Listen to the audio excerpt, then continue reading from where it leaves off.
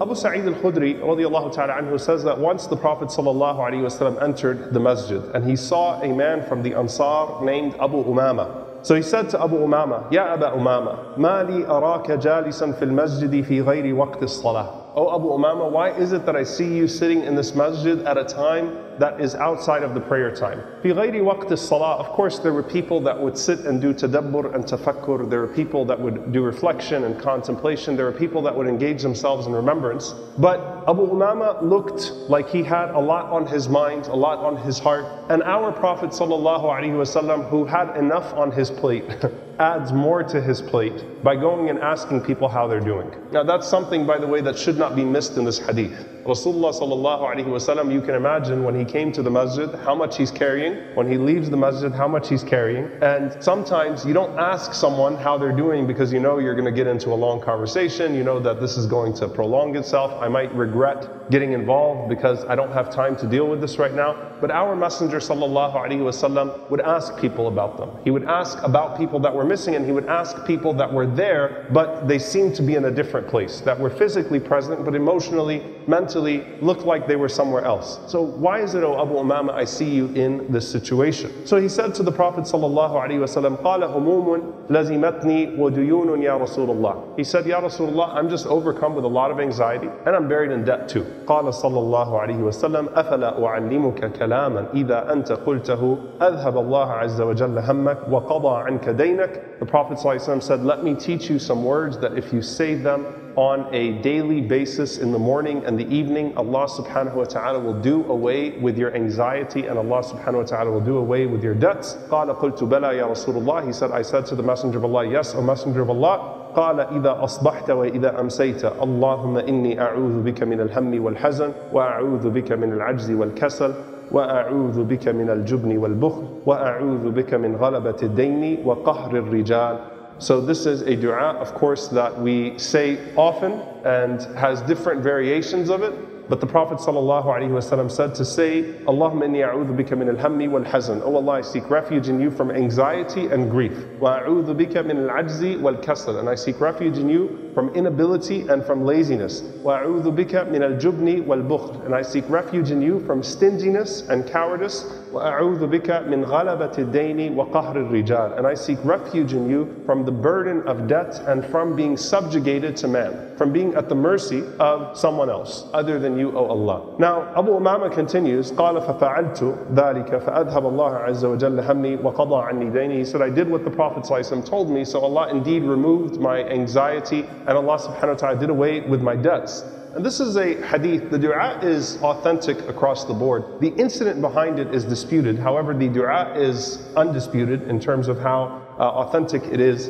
But I want to talk about this, inshallah ta'ala, particularly from the first two sentences the difference between these words and what the Prophet ﷺ is actually giving to us. Allahumma inni a'udhu bika min al-hammi wal-hazan. Oh Allah, I seek refuge in you from al-ham, which is anxiety, and al-hazan, which is grief. Al-ham, the scholars say, refers to anxiety over the future. I'm worried about what's going to come next. I'm worried about tomorrow. I'm uncertain about this situation. I don't know how this is going to unfold, and that's causing me a great sense of paralysis. Alham. And the Prophet ﷺ mentioned, Man asbaha wa dunya akbar hamma, whoever wakes up and has dunya, has the world, the life of this world as their greatest hem, their greatest concern, that which causes them great anxiety.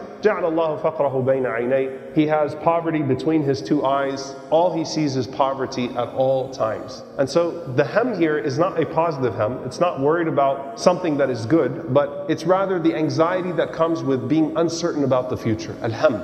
Al-hazan is grief and it refers to the past. It refers to a great sense of loss. I can't get out of the pain that I am feeling in the past. And so basically, subhanAllah, you're asking Allah subhanahu wa ta'ala to remove the concern of the future and the burden of the past so that you can be more productive in the present. Because at the end of the day, both of these things paralyze you. They both stop you from being able to move forward. And sometimes we might think that we should feel a sense of guilt for moving on from something. You know, by the way, it's always important to recognize that the shaitan leads you to either unproductive action or to no action at all by giving you good words, right?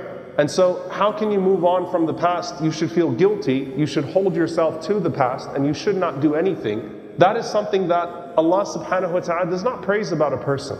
You might think that it's a sin that I committed in the past and I can't get over it. And nadmu tawbah, regret is repentance, but at the same time, hasra, which is remorse, where a person just sits around and a person says, Ya hasrata, I messed up, I messed up, I messed up. That's not a praiseworthy quality. And so a person is either stuck in the past or they're way too concerned about the future. And the scholars mention here that when it comes to the past, because you're not just saying these du'as without understanding the attributes of Allah subhanahu wa ta'ala behind them, Allah subhanahu wa ta'ala will not hold you to the sins that you have committed in the past if you repented from them. So if it's a sin that's causing you grief, Allah subhanahu wa ta'ala will not hold you to that. Allah subhanahu wa ta'ala wants you to move forward. Allah subhanahu wa ta'ala does not want you to be frozen or paralyzed by your past. So if it's sin or something that you've done bad, you need to understand that Allah subhanahu wa ta'ala is the one that's most forgiving. If it is pain that you feel over something that indeed happened to you, then it is Allah subhanahu wa ta'ala that compensates for that pain in the hereafter. The compensation awaits around the corner. If it is regret that you did not do something differently. You know, sometimes we think, I could have done this differently and this wouldn't have happened. So we beat ourselves up over, you know, not having done enough for someone or not having intervened at a certain point or not having done this or not having done that. Then know that Allah subhanahu wa ta'ala had a plan for that person as Allah subhanahu wa ta'ala has a plan for you. The point is, is that you're not supposed to be frozen by your past, paralyzed by your past. But instead use it, grow out of it, and think about that which comes afterwards, bi'idhnillahi ta'ala. And remember that when it comes to the future, as a person is so afraid, anxious, uncertain about that which comes next, that Allah subhanahu wa ta'ala indeed is upon all things in control that everything is going to unfold in the way that it's going to unfold, whether you concern yourself with it or not. But by acting in a way that is praiseworthy, bi'idhnillahi ta'ala, the future will hold a positive fate for you. So alham wal hazan, and this is also when the angels come to us when we are dying, Allah takhafu wa la tahzanu. Do not be afraid, Allah takhafu, about the future.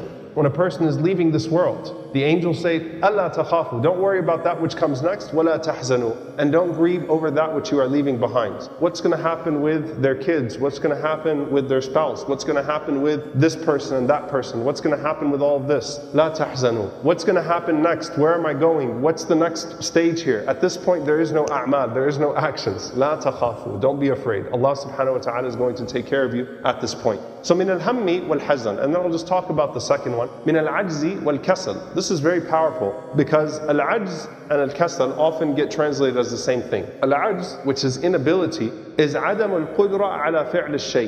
It is when you don't have the ability to do something. So things are truly out of your control. You're in a situation where you are helpless and you can't do anything about it. And you're asking Allah subhanahu wa ta'ala, oh Allah, protect me from that. Al-kasal is when you have al-qudra ala shay, you have the ability to do something, but you have a tathaqul, you have a burden, something that's holding you back. You're able, but you're not willing. You can, but you're not.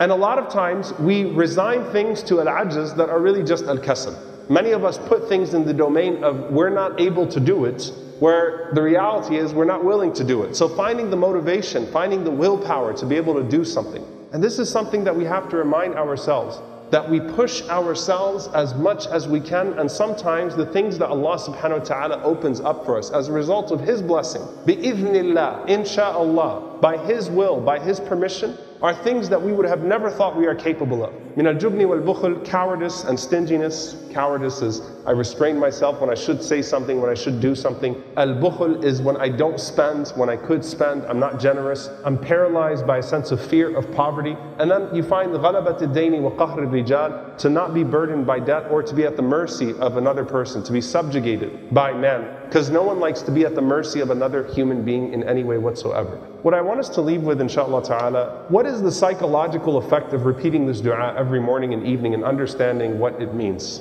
Al-ajzi wal-kasal, al-hammi wal-hazan. Reminding yourself that Allah subhanahu wa ta'ala is in control of the future, so I should not lose myself in uncertainty about it. Reminding yourself that Allah subhanahu wa ta'ala has forgiven what you have done in the past and Allah subhanahu wa ta'ala will allow that past to lead to future growth. Reminding yourself not to grieve over it reminding yourself that you get yourself out of al-ajz, that there are certain things that I cannot control. But oh Allah, forgive me when I can't control the situation and help me overcome those situations. Oh Allah, open up those doors for me. And al-kasal, when it comes to laziness, when a person just does not find the willpower to do anything anymore, when a person shuts down. All of these are deeply complex topics, but the effect of reading this on a morning and evening basis where you're understanding the attributes of Allah subhanahu wa ta'ala and you understand the deep wisdom of these words are things that can truly transform our lives and more importantly can lead to elevation in the hereafter. We ask Allah subhanahu wa ta'ala to protect us from al-hammi wal-hazan. نعوذ بك من الهم والحزن ونعوذ بك من العجز والكسل ونعوذ بك من الجبن والبخل ونعوذ بك من غلبة الدين وقهر الرجال اللهم آمين